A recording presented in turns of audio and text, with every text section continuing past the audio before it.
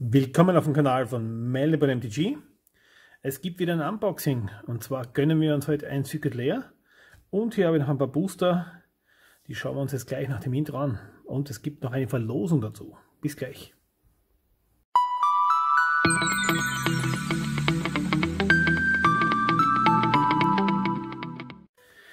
Ja, und es gibt wieder eine Verlosung, wie angesprochen, diesmal was richtig Geiles. Äh, diesem ist zweiteilig. Als erstens einmal schaut auf heute um 21 Uhr, also heute Freitag, 17.12. auf Gable vorbei. Da gibt es einige Giveaways, also da wird richtig was rauskommen. Und zusätzlich ähm, steht da in der Videobeschreibung. Ähm, für alle, die dieses Video kommentieren, liken, teilen, wie immer, gibt es dieses T-Shirt. Ein klassisches Magic T-Shirt. Ähm, XL, 2XL von Diffused. Und äh, ja, wer Bock drauf hat, schaut in die Videobeschreibung, steht alles drinnen, wie man teilnimmt. So, und nun machen wir weiter mit unserem Unboxing. Wir haben ein Secret Lair und haben ein paar Booster. Und jetzt sagen wir, starten wir mit den Booster, Secret Lair machen wir am Ende. Schauen wir uns einmal Stumme der Vernichtung an, vielleicht kriegen wir da ein Masterpiece raus. Wäre ich sehr nice. Ein Masterpiece zu ziehen. Dauntless Aven.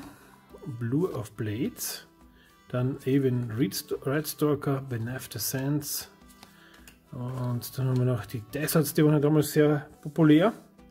Hat ja einige Deserts gegeben in dem Set, mit, die, mit Cycling. Ruin Red, dann Life Goes On, Granitic Titan, Chandra's Defeat, das war einer der besseren Instants, äh, im Uncommon-Slot. Gideon's Defeat. Ist auch gegeben. DVD of Strength und Earthshaker Kendra. Gute Rare, ist damals rauf und runter gespielt worden. Sehr cool. Und dann noch ein Land. So zum ersten Booster. Dann ein Ether Revolt. Auch ein sehr nettes Set.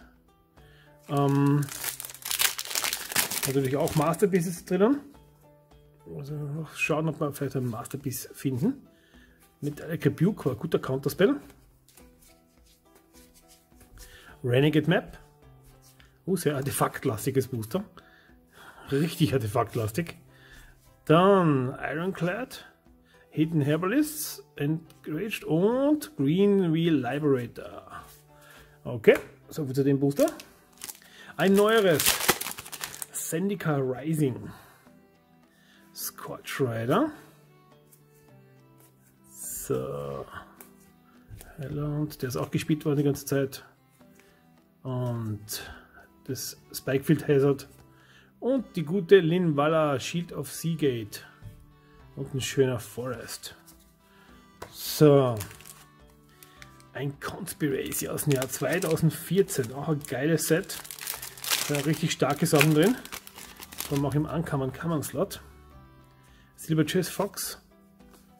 Dann Rap in Flames, Trumpet, Pack, Emanation, Hang of the Holeback, gute Karte. Explorer Scope, Squirrel Nest, Combo Piece sogar. Uh, Mythic, Hydra Omnivore, Hammerkarte und noch ein Clockwork Librarian ein Elefant-Token, aber die ist richtig nice. Sehr cool. Dann haben wir noch zwei Jumpstart. gutes Thema rausziehen. Vampires, schauen wir uns gleich das zweite Thema an. Und Under the Sea. Under the Sea. Jetzt sind noch Seemonster. Schauen wir. Yeah, ein Wal. Ein Kraken, Starfish, wieder ein Wal. Sind sehr viele Seemonster enthalten. Und das schöne Jumpstart Island. Gut. Und im Vampires, da ist glaube ich meines Erachtens meistens die Trana drinnen. Schauen wir ganz kurz. So. Nee, das ist das Backmin Vito. Vito, auch nice. Vito ist sehr coole äh, Karte. Und im Ankommen-Slot haben wir einen Gifted Ether Bond, der ist sehr gut. Und ich glaube noch einen schönen Sumpf. Ja, da ist er. Special Sumpf nur aus der Edition. so, wie gesagt, nicht vergessen, heute Abend 21 Uhr schaut auf Gavel vorbei. Infos in der Videobeschreibung. Und jetzt schauen wir uns noch das Secret Lair an. Übrigens ist, ist es Secret Lair uh, Special Guest Fiona Staples. Also ein Artist. Secret Lair.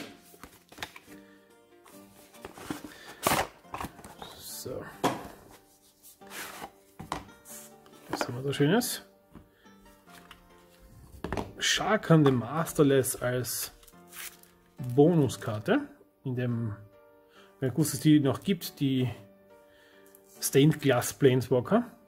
Aber ist einer der besseren, nicht schlecht. Und dann haben wir das eigentliche Secret Lair.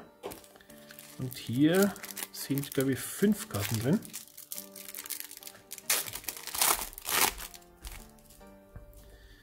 Wir haben hier den Soulscar Mage. Dann eines der Karten, warum ich es eigentlich gekauft habe, auch das Stride of the Losing Grove, der für Deck. Dann Sakura Tribe Elder, absolut geil. Braucht man auch vier Decks.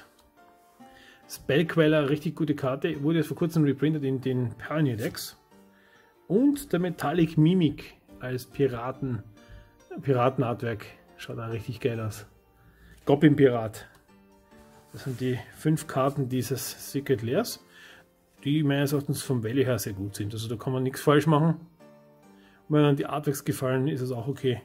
Ich habe es in dem Fall jetzt nicht unbedingt Artworks gekauft, sondern eigentlich nur die Karten für Decks brauche. Also die, die Hälfte der Karten, bis auf die zwei, die brauche ich alle für Decks, die brauche ich nicht wirklich. Okay, das war's für heute. Nicht vergessen, wie gesagt, bitte liked, kommentiert das Video, äh, lasst ein Abo da und äh, schaut wegen die Gewinnspiele einmal heute auf Gabriel um 21 Uhr und nach natürlich noch ähm, für das äh, T-Shirt dieses Video bitte kommentieren, liken, teilen. Okay, danke, wiederschauen.